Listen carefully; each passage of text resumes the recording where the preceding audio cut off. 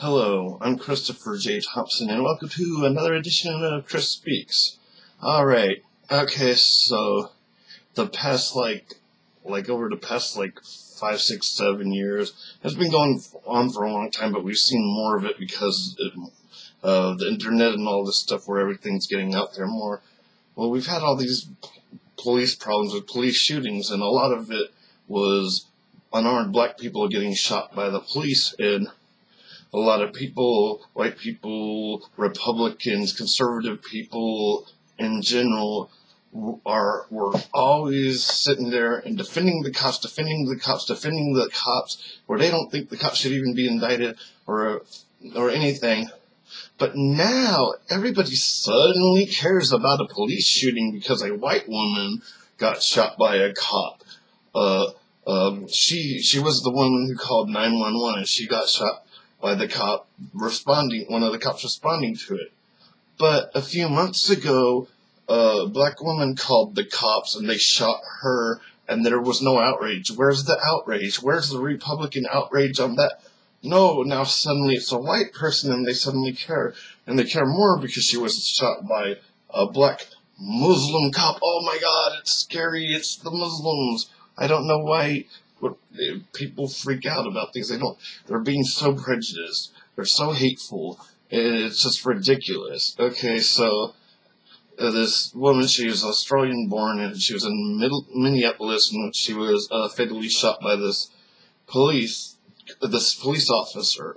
Okay, she was the one who called the cops because she thought that a sexual assault was going on okay, yeah, it's bad. This guy was a rookie. This is another problem. The training's not good. He shouldn't be a cop because there was a loud noise and he freaked out and he um, shot. And I don't think he should be murdered. I think he should be tr- tried for um, uh, involuntary manslaughter and have to do some time. That's the way it is. Just like I think all the cops, no matter what color they are, what the victim's color is, is that they need to face the law. They need to be get what's coming to them. They need to be punished for what they've done, and uh, that's not happening. But now suddenly, when the tables are turned and the races are the opposite, now now it's a whole different story. Okay, so we have mm, uh, Republican Congresswoman Michele Bachmann that she was at some kind of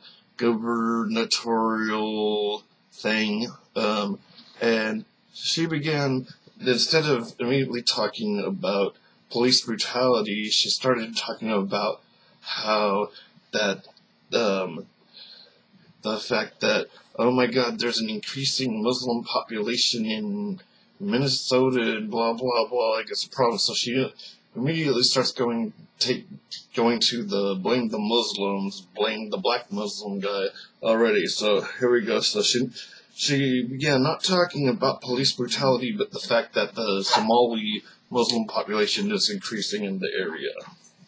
And said that people were worried about it in the area. Okay, so she said that, uh, and she went on to say that we shouldn't, they shouldn't be, people shouldn't be afraid to be called Islamophobic or racist or or bigots, and then began to say racist, bigoted, Islamophobic stuff.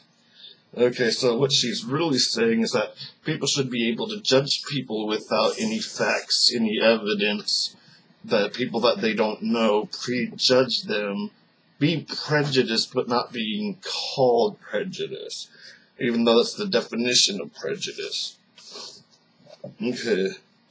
The fact that the same people defended the who defended the white cops to the end when they were shooting black people uh, that are now suddenly they're against this cop because it's a white woman shot and it's a Muslim cop. Right? They're the same people. Um, and then uh, the next thing, Michele Bachmann, to prove how much of a bigot she isn't, she claimed that the officer, um, that he's an affirmative, he got an affirmative action job. In other words, she's saying that he didn't qualify for the job, he just got the job because he was black, even though offering no evidence to contrary. So right there, you're just showing the race yourself as the racist you are. Uh, it's ridiculous. And, you know, I just don't understand. It's like when unarmed black people were getting shot, the media was coming out defending the cops and and saying how the victims of the thing were thugs, and they're even Trayvon Martin, who wasn't killed by a cop but by some crazy guy in the neighborhood, was a thug. Where's the people call, uh, coming out of the woodwork, all the conservatives, where are they here calling her a thug and, and demonizing her and trying to bring up her past and investigating her? No, for the first time, you want to bring up the cop and what he's doing in his training and all of this stuff. I so, so now the same people that are pro cop all the time are throwing this guy under the bus because he's a Muslim. And this is all like, I'm not defending his behavior. Uh, just like when the cops shoot black people, certainly it should be under investigation. I think the, the training needs to change. I, and, um, I think all cops should be accountable for their actions.